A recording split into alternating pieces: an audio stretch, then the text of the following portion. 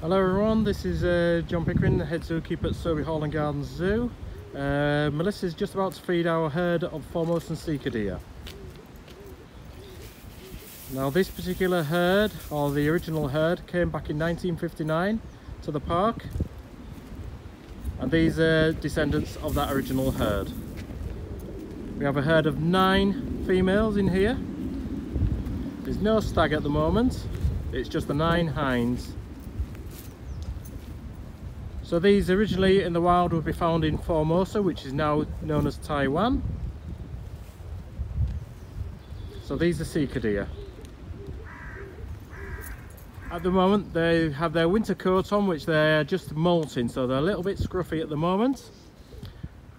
When they get their summer coat on they will have the distinctive spots, white spots